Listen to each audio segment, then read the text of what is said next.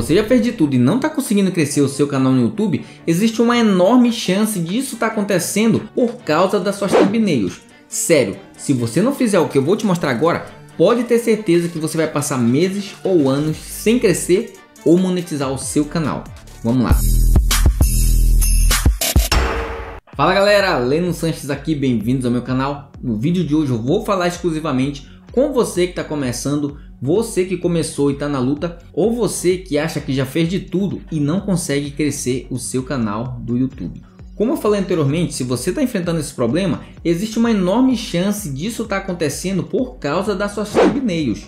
Isso mesmo, pois aqui no YouTube as thumbnails ou capa dos vídeos são como se fossem a isca que você coloca no anzol para fisgar a atenção daquele espectador que está procurando por determinado assunto. Então, se você não capricha na sua thumbnail, se você não faz ela de forma estratégica, pode ter certeza que aquele vídeo que você fez com tanto carinho, ele tem grandes chances de não performar. E quando isso ocorre, não culpe o seu conteúdo. Nem sempre é o conteúdo. Em grande parte das vezes é sim a thumbnail. Quando a thumbnail não é bem elaborada, a pessoa simplesmente passa os olhos, ignora e vai para o próximo. Ela clica naquela thumbnail, naquela capa de vídeo que chamou mais a atenção dela. Concorda comigo? Eu sou assim e você também é assim. Provavelmente quando você faz a sua pesquisa, você vai direto naquela capa que te chamou mais atenção. Então, já fica o primeiro insight para você. E antes de mais nada, já deixo bem claro que este vídeo de hoje não é um tutorial de como você fazer uma capa no Canva, Photoshop, etc. Não, hoje eu vou te mostrar, independente do aplicativo que você for utilizar, o que você deve fazer, quais são os elementos que você deve valorizar, que você deve acrescentar e jamais ignorar nas suas capas dos seus vídeos. Fechou? Então preste muita atenção e valorize o conteúdo que eu vou te entregar agora, pois essas informações são baseadas em dados do próprio YouTube e que eu vou te passar com propriedade, pois com um pouco mais de um ano trabalhando aqui na plataforma,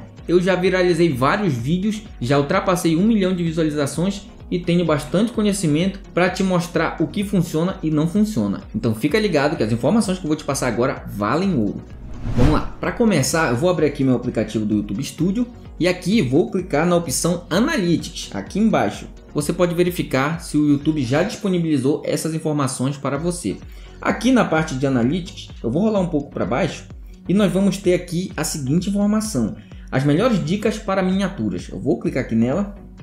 E agora vamos trabalhar com dados oficiais do próprio YouTube. Olha só, as miniaturas ajudam os espectadores a escolherem você. Vamos ver como suas miniaturas estão se saindo. Vou rolar aqui para o lado estas miniaturas estão indo bem. Aproveita e já verifica no seu YouTube Studio se o YouTube está te fornecendo estas mesmas informações, só que referentes ao seu canal. Olha só, estas miniaturas estão indo bem. Aí aqui ele me dá três exemplos de miniaturas que estão performando muito bem no meu canal. Olha só, aqui na primeira é de um vídeo onde eu ensino como apagar o histórico de chamadas do Instagram. Aqui na segunda é de um vídeo onde eu ensino como fazer a nova trend do Instagram e TikTok. E aqui no terceiro é de um vídeo onde eu ensino como salvar stories do Instagram com música no Android ou iPhone. Aguenta um pouquinho que já já vamos analisar detalhadamente o que eu fiz em cada thumbnail dessa para que você possa possa aprender e aplicar no seu canal. Fechou? Então vamos lá. Rolar aqui para o lado. Veja como fazer as miniaturas chamarem atenção. Vamos lá.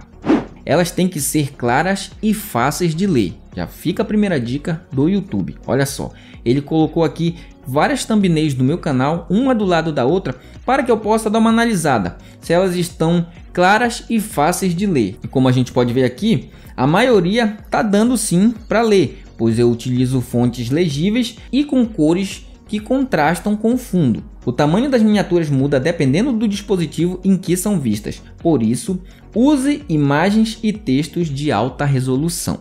Fica aqui a segunda sacada para você.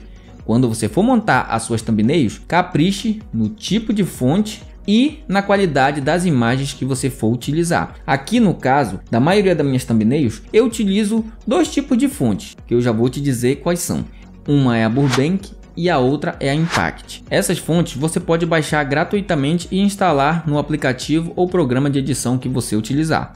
Continuando aqui, destaque-se ao lado de outras miniaturas. Agora, nesta página, o YouTube coloca várias miniaturas de canais concorrentes ou do mesmo nicho do seu para que você possa dar uma analisada se as suas capas estão se destacando entre as outras ou não. Olha só, suas miniaturas precisam dar uma amostra dos seus vídeos e despertar curiosidade. Terceira sacada para você. As suas miniaturas elas devem dar uma amostra do que se trata o seu vídeo e junto disso gerar uma curiosidade. Observe a minha thumbnail que está aqui no centro para fins comparativos.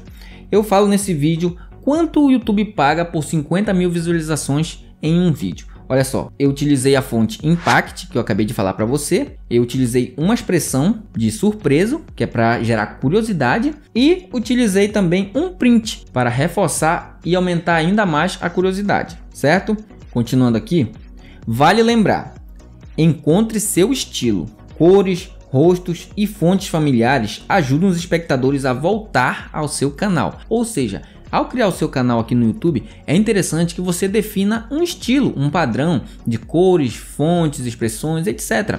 Dessa forma, facilita para que os espectadores lembrem de você e até mesmo destaca o seu canal, pois você estará criando a sua própria identidade. Simplifique.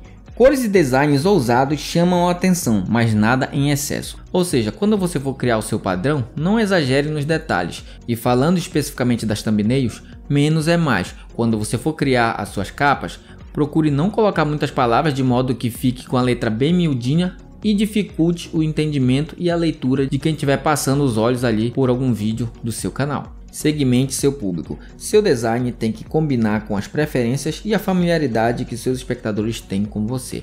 É aquilo que a gente acabou de falar. Quando você for criar a identidade visual ou um padrão para o seu canal, isso vai facilitar com que os seus vídeos se destaquem entre outros de outros criadores de conteúdos do mesmo nicho que você trabalha. Agora, voltando lá para o começo, onde o YouTube destaca três miniaturas de vídeos aqui do meu canal, vamos analisar agora uma por uma para que você identifique padrões e consiga entender o que funciona, o que precisa e o que não precisa, beleza? Então vamos lá.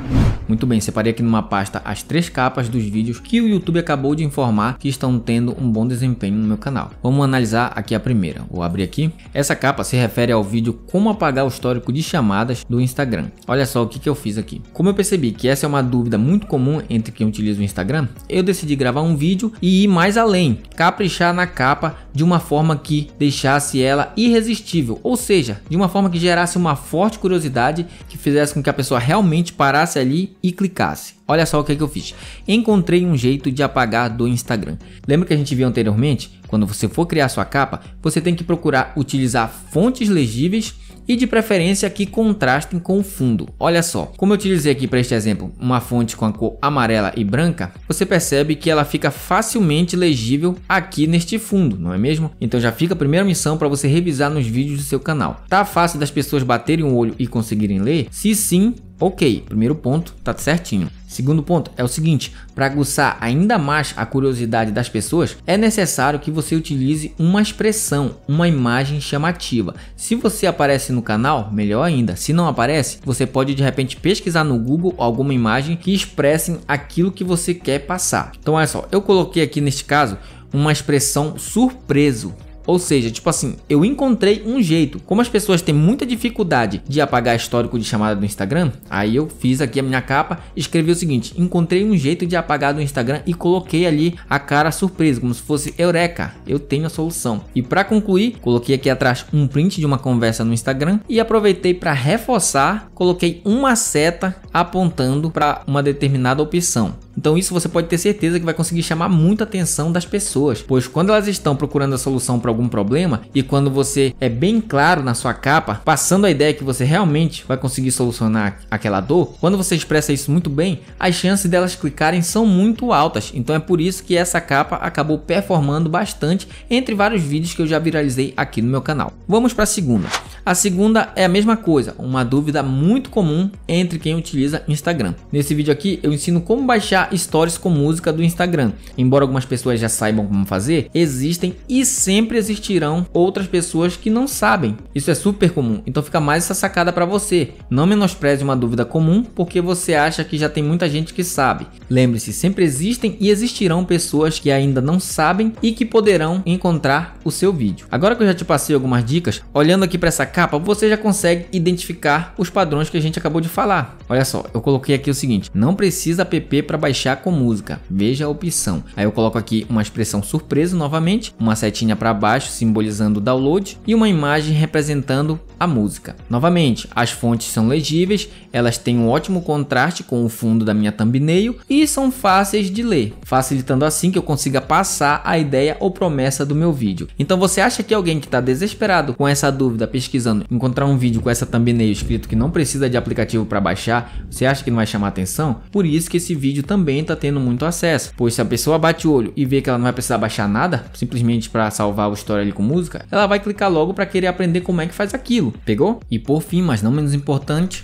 a capa do vídeo onde eu ensino como fazer a nova trend do Instagram, do TikTok, aquela trend que estava bombada nas redes sociais. Você deve ter visto algumas pessoas fazendo e compartilhando, e as fotos iam aparecendo uma por uma num efeito bem legal de sobreposição. Pois bem, preste bem atenção nesta capa, pois ela também não foge do padrão que já aprendemos até aqui. Olha só, eu utilizei poucas palavras, fonte legível, fácil leitura e que se destaca em relação ao fundo da minha thumbnail. Repare também que novamente eu utilizei uma expressão bem chamativa. Olha só, eu coloquei ali a minha mão na boca, novamente simbolizando uma expressão de surpresa. Ou seja, passando a ideia que neste vídeo realmente eu estava ensinando como fazer de forma bem simples a nova trend das redes sociais. E aí você repara que eu coloquei algumas fotos ilustrativas mostrando resultados de como poderia ficar e uma seta apontando aqui da palavra trend fotos para o resultado que as pessoas esperam. Com isso, consegui viralizar mais este vídeo e obter ótimos resultados com ele. Em resumo, podemos dizer que para você conseguir fazer uma boa thumbnail, você vai precisar utilizar esses elementos bem básicos. Poucas palavras com uma fonte legível que se destaque no fundo da sua thumbnail, uma imagem expressando com coerência a ideia que você quer passar no vídeo e por fim uma imagem chamativa de repente do resultado que a pessoa vai obter ao acessar o seu vídeo passar novamente aqui para complementar o nosso resumo e te mostrar que fazer uma boa thumbnail pode se tornar tão simples a partir do momento que você obtém conhecimento. E neste vídeo eu te passei os principais macetes para que você consiga fazer hoje mesmo nos vídeos do seu canal. É importante dizer que para você sair do zero e conseguir chegar até a produção de ótimas capas que consigam te gerar ótimos resultados, é necessário que você comece a aplicar e ter consistência. Aqui no YouTube tudo é teste. Tenha em mente que mesmo conhecendo ótimas estratégias estratégias, algumas vezes seus vídeos vão performar, outras vezes não. E isso é normal, até mesmo com os maiores criadores de conteúdos da plataforma. Não se frustre quando você gravar um vídeo, postar no seu canal e ele não performar. Isso acontece com todo mundo. O importante é você aplicar e ter consistência. Eu te garanto, se você aplicar as estratégias que eu te mostrei no vídeo de hoje, você vai mudar de verdade o desempenho do seu canal. Não desanime se você publicar um vídeo e na primeira semana ou primeiro mês ele não performar da maneira que você esperava Saiba que tem vídeos que você posta hoje, mas só vão começar a pegar visualizações de repente daqui com um, dois, três meses. Isso é super normal, já aconteceu comigo, com pessoas que eu conheço e com vários criadores de conteúdos que estão sempre postando vídeos nos seus canais. Então, tendo isso em mente, você se prepara e continua firme e consistentemente postando conteúdos no seu canal. Pode ter certeza que a sua hora também vai chegar. Há um ano eu também comecei do zero, sem saber nada, quebrando a cara, mas eu não desisti. Teve momentos de alto, momentos de baixo e olha só, hoje estou aqui, já ultrapassei um milhão de visualizações e continuo trabalhando para escalar ainda mais. Se eu conseguir, você também consegue. Aqui no meu canal já postei muitas dicas do que eu fiz e continuo fazendo até hoje para continuar crescendo aqui na plataforma. Se você está começando ou quer monetizar mais rápido o seu canal, eu recomendo que você assista a playlist que eu estou recomendando agora para você, que nela eu selecionei os vídeos fundamentais para você ir do zero à monetização em tempo recorde. Vai lá e depois me conta o que achou. Espero que você tenha gostado do vídeo de hoje. Eu peço que você valorize muito o conteúdo que eu te entreguei aqui, pois eu elaborei ele com muito carinho. Foi resultado de meses de prática para que eu conseguisse chegar às conclusões que eu te repassei. Se você gostou desse vídeo, deixe seu like, se inscreve no canal e, claro, ative as notificações para não perder nenhum conteúdo que eu sempre estarei trazendo para você. Meu nome é Leno Sanches, obrigado e até a próxima.